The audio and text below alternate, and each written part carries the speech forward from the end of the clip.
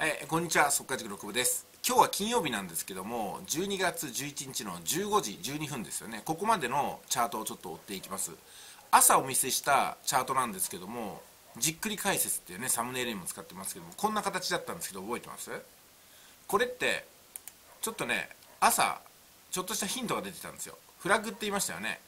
フラッグをビューッとね、しっかり伸ばすと、こういう形になって、まさかここでブレイクするとは思わなかったんですけども、まあ、ブレイクポイントがここに見えるんですよね。ということはねここから売りのブレイクがあるんではないかなというふうに考えた方もいると思います。ではちょっとね、えー、図をもう一個見てみましょうか。えー、現在の図なんですけどもはいいかがでしょうかこういうふうな形でねブレイクしてるポイントがありますよねこからブーッと入ってきてここに抜けたという形ですね。でここ N を書いてね何が言いたいかというと N を書いてもう一回これ下に行くってことなんですよ、まあ、ですんでちょっと今日はね、えー、と慎重に行かないといけないんですけど夜になっては。うーんまあちょっと1時間以内に私は様子を見てあのセルで入ってこの、え、移動平均線3本が下にグリッともう向きを変えてますよね、うん、だからねここから入れたんじゃないかなと思いますね私ね。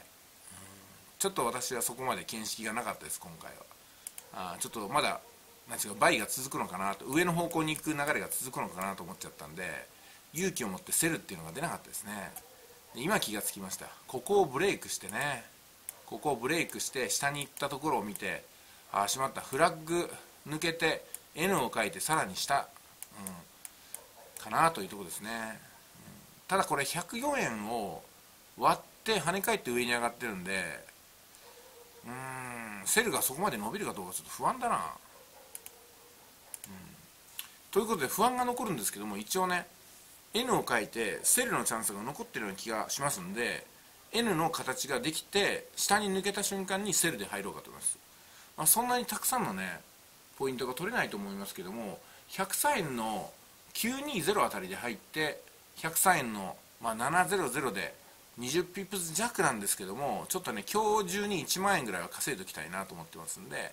ちょっとワントライやってみます。それでは。